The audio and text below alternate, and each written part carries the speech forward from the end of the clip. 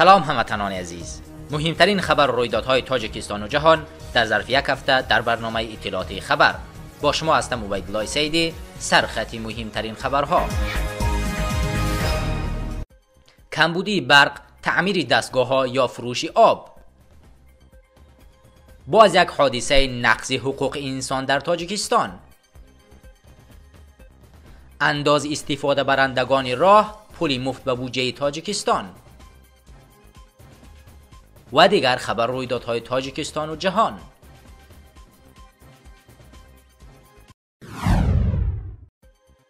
چند است که در تاجیکستان مردم از کمبودی نیروی برق اذیت می‌کشند.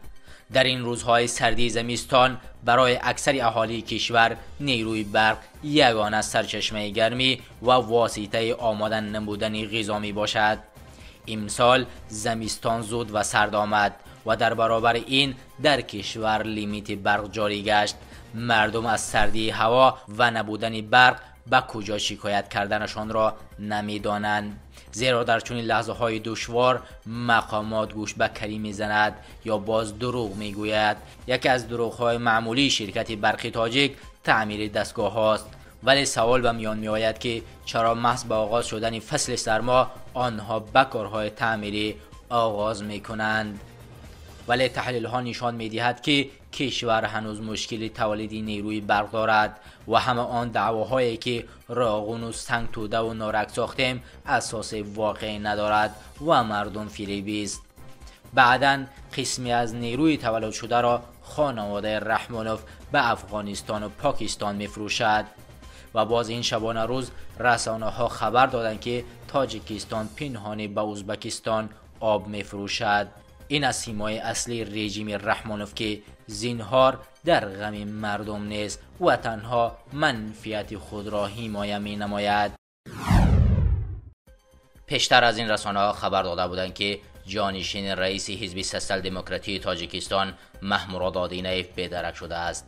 نهایت پنجم دکبر سال 2020 رئیس حزب سسل دموکراتی تاجیکستان رحمت الله زایروف خبر داد که جانشین رئیس این حزب محمود آدینیف از جانب یک گروه افسران وزارت کارهای داخلی و کارمندان مقامات امنیتی دستگیر شد. در بیانیه‌ای که رحمت الله زایروف در صفحه‌اش در فیسبوک نشر کرده است گفته می شود که سبب بازداشت رحمت الله زایروف همچون از وزارت کارهای داخلی جمهوری تاجیکستان طلب کرد که سبب و عامل بازداشت شدن محمود آدینیف ماده جنایت و کودکس معمولی که او ابدار کرده می شود معین کرده شود. بر رئیس حزب سسل دموکراتی تاجیکستان و شخصا رئیس آن رحمت الله زایروف حتمی خبر داده شود. خود همان روز مرکز مطبوعاتی پروکراتورای گنرالی تاجیکستان خبری بازداشت شدن محمود دادینیو را تصدیق نموده. تاکید نمود که شخصی از جنایت پنهان شده دستگیر شد. در اظهارات پروکراتورای گنرالی تاجیکستان آماده است که نسبت آدینه محمورات 20 نوامبر سال 2020 به ماده 237 قسم دو بندهای ب و و کودکس جنایتی جمهوری تاجیکستان اوباشی از جانب گروه شخصان یا گروه شخصان به مصلحتی پیشکی پرونده جنایتی آغاز کرده شده.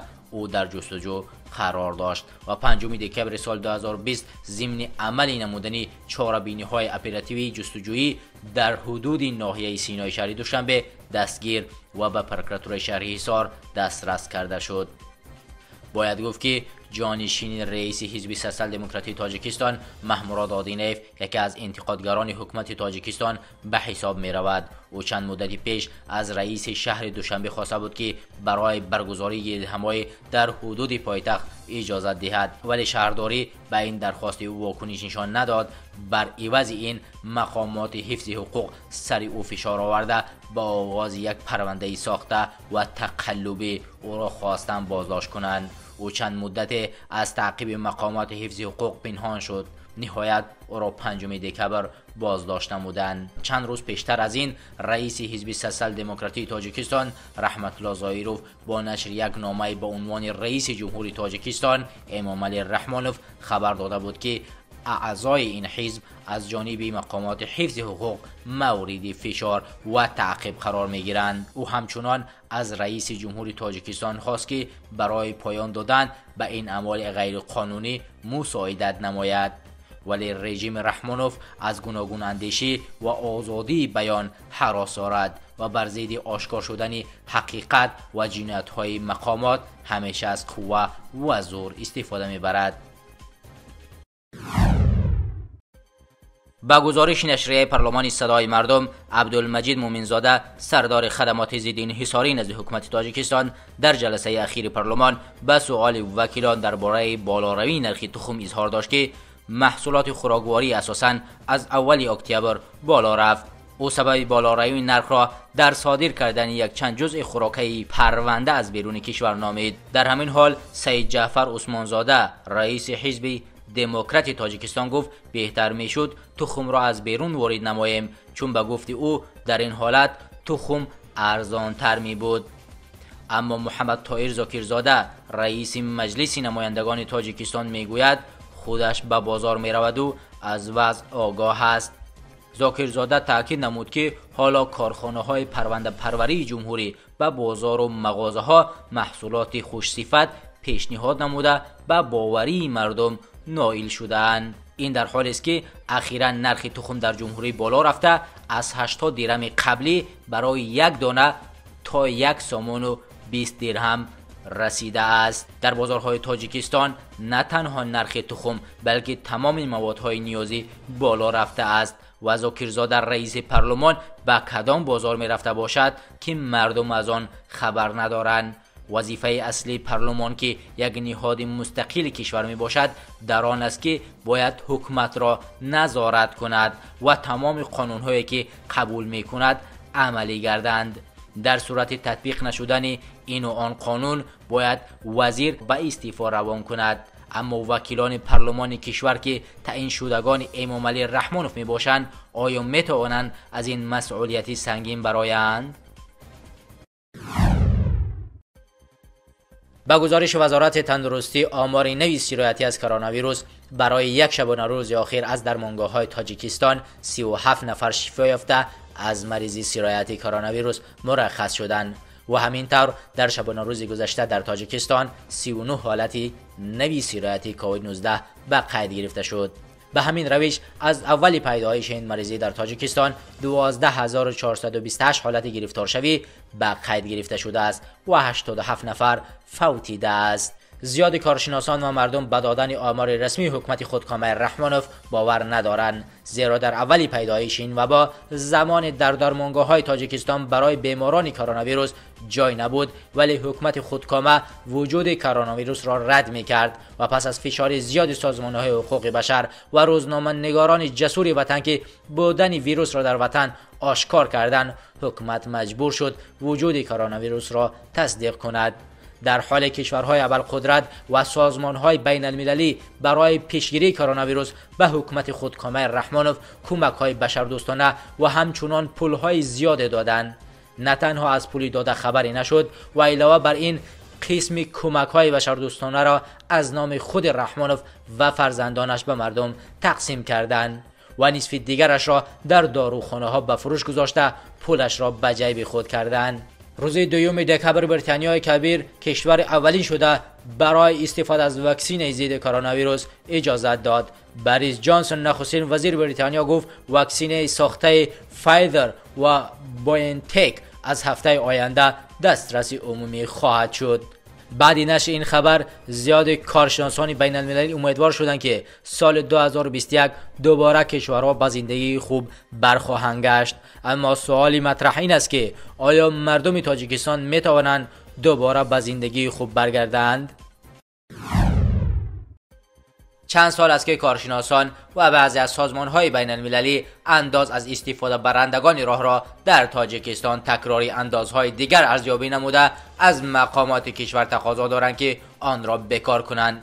وکیلان مجلس نمایندگان هفته جاری تصمیم گرفتند که حل این مسئله تا سال 2021 به تأخیر گذاشته شود.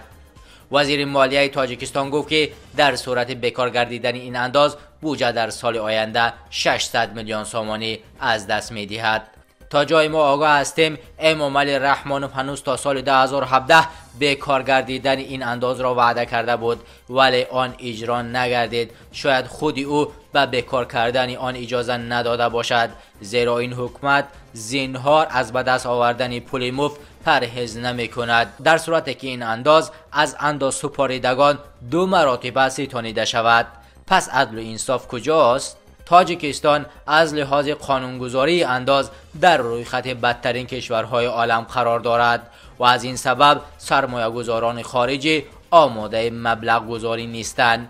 سبب دیگر به تاجیکستان وارد نگردیدن سرمایه خارجی فساد می باشد که چون زرپیچک تار و پود نظام رحمانوف را پیچیده است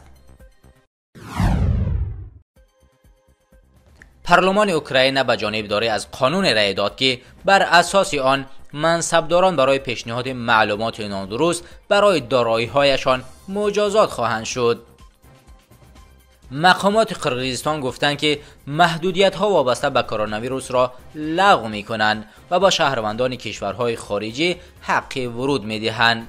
وزارت کارهای خارجی قرقیزستان روز پنجم دکبر در یک اظهارات گفت که خارجیان می توانند از طریق فرودگاه بین المللی منس، آش و یا ایسی قول وارد این کشور شوند. حکومت شویتساریا و یونیسف فوند کودکان سازمان ملل متحد برای مبارزه با کرونا ویروس به وزارت تندرستی تاجیکستان در حجم 50 هزار دلار امریکایی لوازمات کمک کردند. اسرار واحدوف مشزن شکست نادیده تاجیک ورزشکار اوکراینی دنیل سیوچنکو را شکست داد. محاربه سه دور دوام کرد ورزشکار اوکراینی در پی حمله موفق واحدوف به زمین افتید.